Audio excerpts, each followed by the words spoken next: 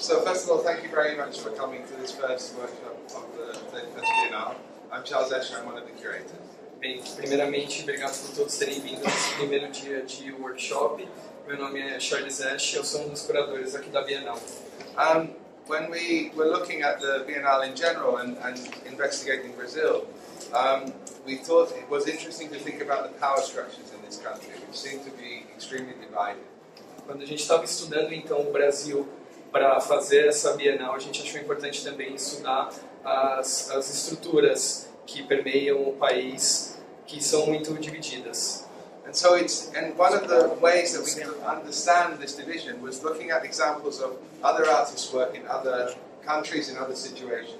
Então, uma das formas que a gente encontrou para analisar isso foi comparar com o trabalho de outros artistas em outros países. So both Borak Arikan is sitting here and Erick Beltrán um, are two artists who really try to visualize the power structures that exist behind the media or behind the advertising, behind the fronts that the corporations and the society puts up in order to cover itself. Então, o Burak Arıkan, que está sentado ali no canto, e o Erick Beltrán aqui no centro na mesa, são dois artistas que tentam enxergar as estruturas de poder por trás da mídia, por trás das corporações. Um, both of them have worked for a long time, but also recently on exhibitions. Uh, in Burak's case, in the last Istanbul Biennial in 2013, uh, and in Erick's case, earlier this year or uh, beginning of last year, earlier this year in Museo Tamayo in, in DF in Mexico, um, uh, looking at how to portray their particular context, the knowledge that they have, in a visual form, which can allow it to be understood by many more people than a text. Então, os dois já tinham trabalhado com isso. O Burak tinha trabalhado na Bienal de Istambul em 2013. O Eric já tinha trabalhado com isso no começo desse ano na Cidade do México. E a ideia é que eles trabalhem com isso, eles trabalham com isso de uma forma mais visual, fazendo com que todas essas relações sejam mais palpáveis, mais visíveis para uma quantidade maior de pessoas. So what we thought might be interesting is to do quite an intimate workshop like this, where we can spend a couple of days talking about the examples that Burak and Erick, and also Zeyno is here as well, have developed, um, and then seeing if we can apply it to a question or questions from Brazil itself. Então a ideia do workshop foi trabalhar com eles de uma forma um pouco mais intimista, para a gente ver se no workshop a gente seria capaz também de reproduzir esse tipo de trabalho na, nas questões na realidade brasileira. And this is really developing an idea of art as a tool. Yeah, art as a tool in order to understand the world, but art is a very direct tool in order to understand your, our relationship with power structures, with society in general.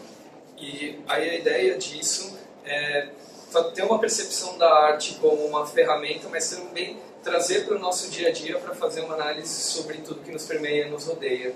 So after the workshop of the two days, there'll be a public seminar, which you're all very welcome to come to, um, where Stephen Wright, Suely Rolnik, who you might know, Tony Chakar, who's one of the artists, Ana Lira, one of the artists, Graziela Kunsch, one of the artists, and other people will be talking about this idea of the, the use value of art, as a tool. How can it be, how can it make sense in a society, not only as a decoration, but as something that actually opens or cracks uh, a view of the world which otherwise would be invisible. Então, a gente tem esse workshop hoje e amanhã. No sábado, a gente vai ter um simpósio. É, esse simpósio, diversas pessoas vão participar, inclusive a Graziela Kunsch, que é uma das artistas, a Ana Lira, tem o Tony Chakara, que também está expondo aqui, o Stephen, Stephen Wright, que é um acadêmico, e a ideia também do simpósio é quebrar essa, essa visão de arte e trazer isso como uma ferramenta para enxergar o dia a dia. So I hope these next two days will be stimulating, but one of the hopes is that we decide at the end of the two days what subject it would be interesting to map, to, to make a cartography of within Brazil, and then I hope to continue the contact so that we can actually develop it during the run of the Biennale. We'll still be here, other people will still be here, there can be email contact with, with Burak, Zeyno, and, and, and Erick.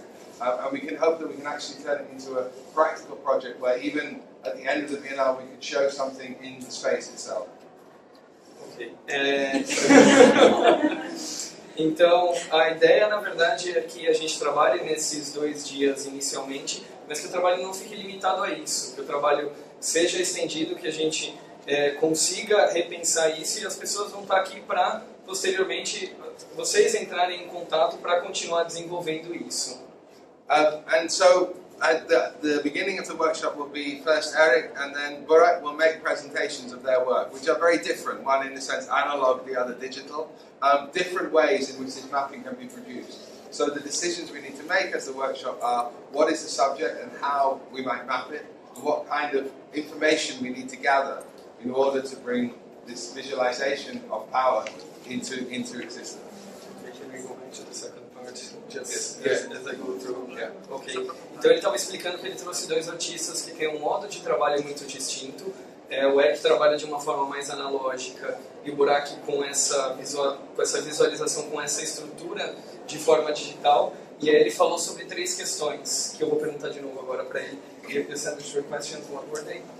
Um, so the, the, the, the basic idea would be to, to look at not only what kind of uh, structures of power we want to map, but also how we might want to map Right. them. What are the what are the techniques, what are the tools that we want to apply? Tá, então não- é somente é, sobre fazer é, esse mapeamento em si, mas também é, olhar as estruturas e o porquê que a gente está fazendo esse tipo de mapeamento. Okay, so thank you very much for.